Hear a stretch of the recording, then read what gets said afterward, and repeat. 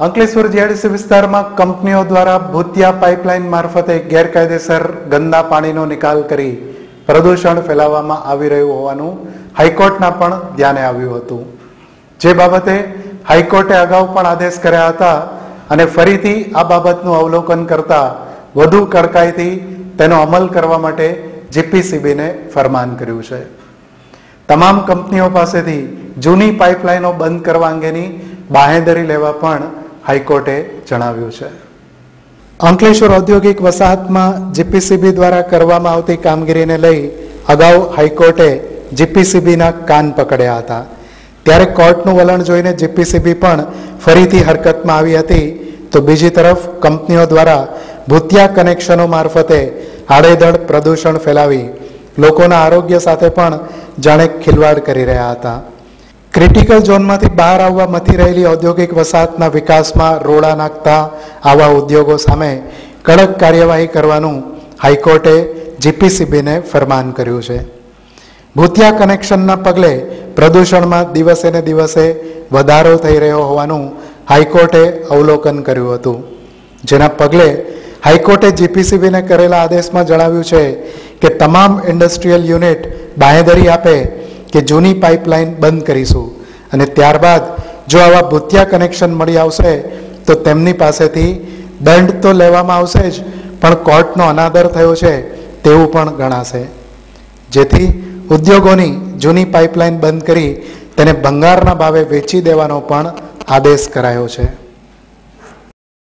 વસાહતના પ્રદૂષણ મામલે જાહેર હિતની રીટ પિટિશન થયેલી છે.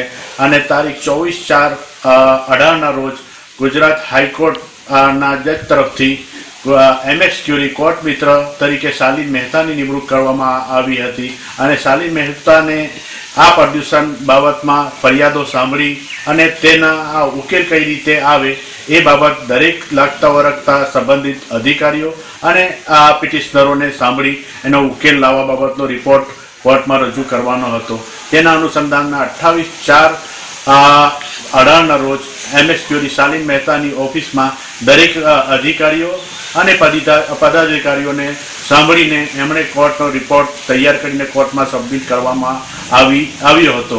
ગઈકાલે આ રિપોર્ટના અનુસંધાનમાં કોર્ટ તરફથી સખ્ત વલણ અપનાવવામાં આવ્યું છે અને વચગાળાના સખ્ત હુકમો કરવામાં આવ્યા છે.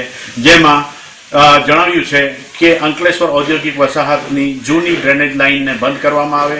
બે, અંકલેશ્વર ઔદ્યોગિક વસાહતમાં આવતા દરેક યુનિટો એન્જિનિયરિંગ યુનિટ સહિતના દરેક યુનિટ અંદાજે સત્તરસો યુનિટ છે. બધાએ એમના માલિકોએ અથવા તો જવાબદાર અધિકારીઓએ લેખિતમાં બાહીદારી એફિડેવિટ સ્વરૂપે આપવાની છે, જેમાં એમણે લખવાનું છે કે અમારા તરફથી કોઈ ગેરકાયદેસરનું કનેક્શન નથી અને અમે પ્રદૂષણ કરતા નથી. ત્રણ જીપીસીપીના અધિકારીઓને પણ કહેવામાં આવ્યું છે કે જે ટોટલ સાતસો ચેમ્બર્સ છે ડ્રેનેજના, એનું હાલનું રિપોર્ટ અને પહેલાનું રિપોર્ટ સમરી રૂપે સબમિટ કરવામાં આવે. આમ, પ્રદૂષણ મામલે કોર્ટ તરફથી સખ્ત હુકમો કરવામાં આવ્યા છે અને આગળની તારીખ એ દસ પાંચ દસ પાંચ અઢાર આપવામાં આવી છે.